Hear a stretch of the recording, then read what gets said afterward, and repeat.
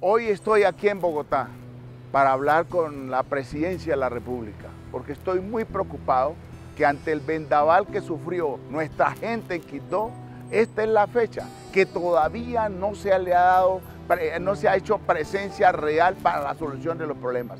Es que frente a una casa destechada, frente a una institución que se, que se quedó sin techo, que las láminas se cayeron, eso no espera para que los niños tengan la oportunidad de estudiar. Por consiguiente, quiero que el gobierno nacional abra los ojos y mire que en Quito necesitamos solucionar este problema, porque nuestra gente, es, es inaudito que la gente siga sufriendo un problema y este es el momento que no se le ha dado solución.